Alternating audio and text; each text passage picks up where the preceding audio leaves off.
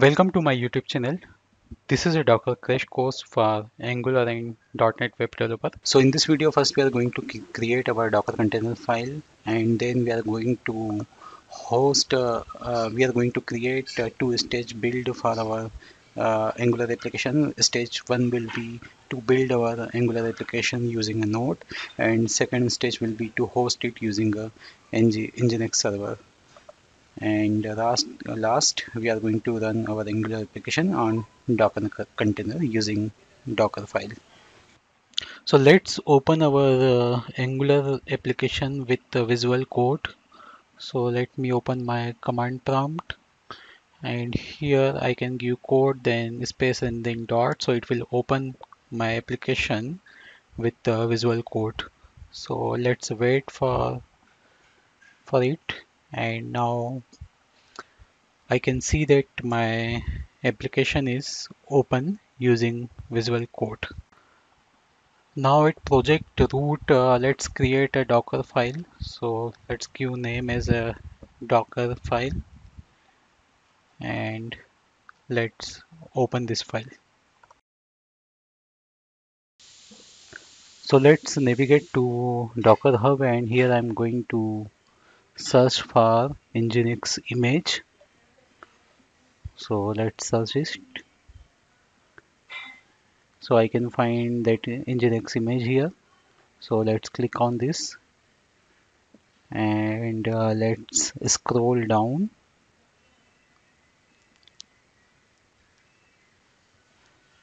So these are the all available version we can see for Nginx let's scroll down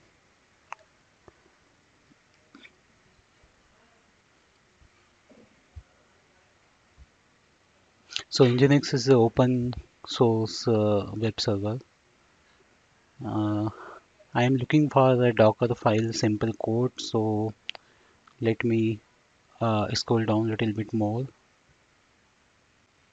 And here I can find that uh, from Nginx and uh, this. So let me copy this and paste it here in our visual code Docker file. So docker file generally we start uh, with some image. So here we are starting from nginx and then we are going to copy our static file directory. So this is nothing but uh, our dist folder. When we build our angular application it creates one dist folder and under that we have our application folder inside it. So i am going to give dist and then hello angular uh, yeah. So let's save this.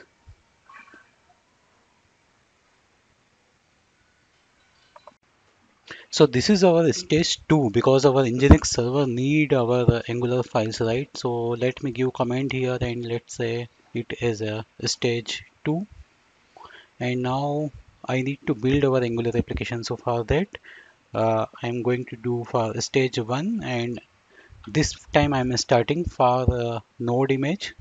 And let's give a version after colon so let's give this lightweight version for node.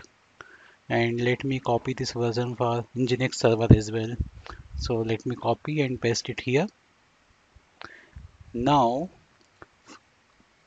uh, this is our node image right uh, you can search in the docker hub. And this all uh, all are the available versions which you can use right? Uh, now next thing is I'm going to create uh, a work directory. So let me type it here.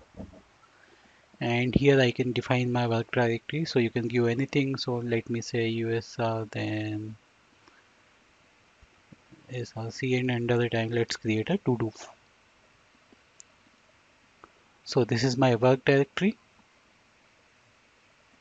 Now next uh, what I want is I want to copy my package.json file and package-lock.json to my work directory because I'm going to install the all the packages before moving other files. So let's copy package.json json file and then space package-lock.json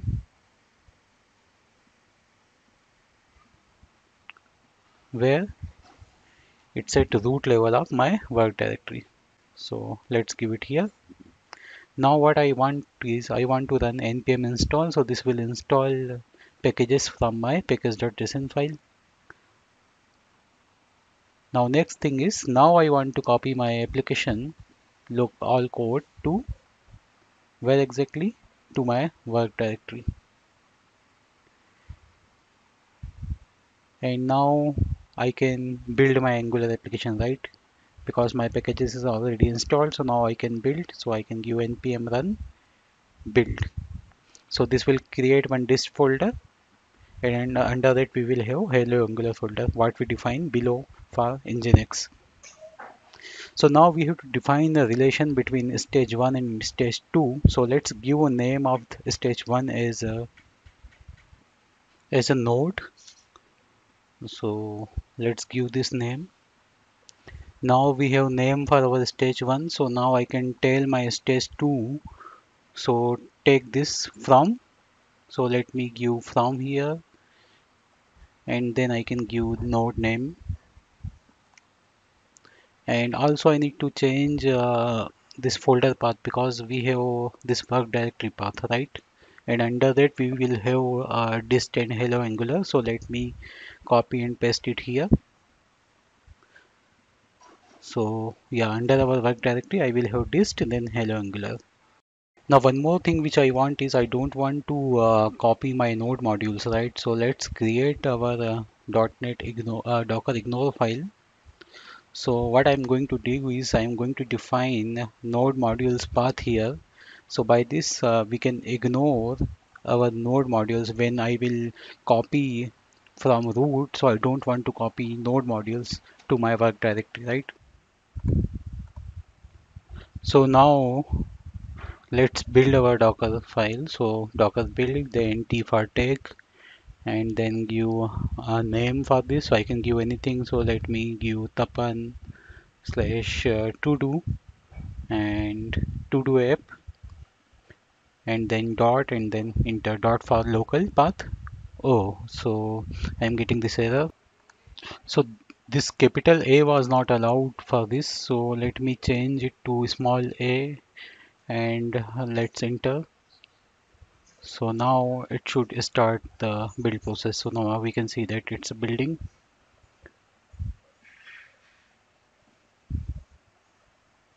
So we can see uh, now one of the six is uh, each line.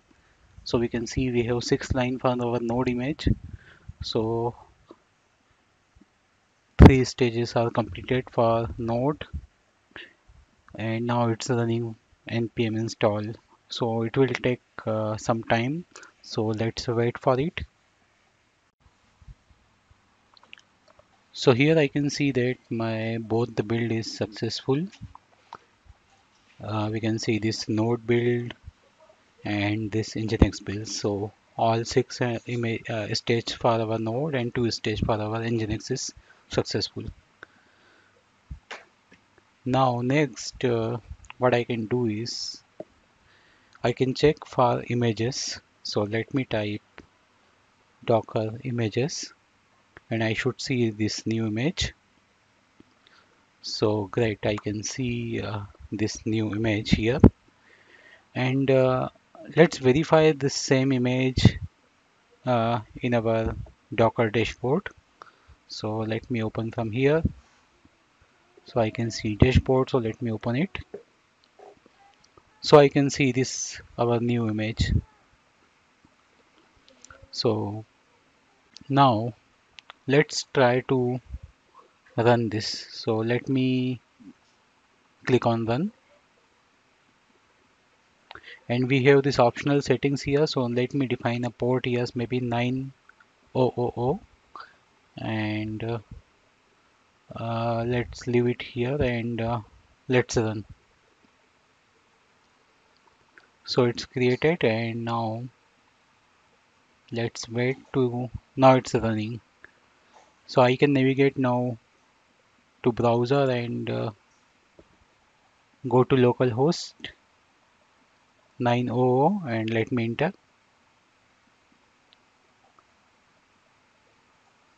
So great I'm able to browse my Angular application using a Docker. So now uh, I came back to uh, Docker dashboard and let me try to stop it. So I clicked on stop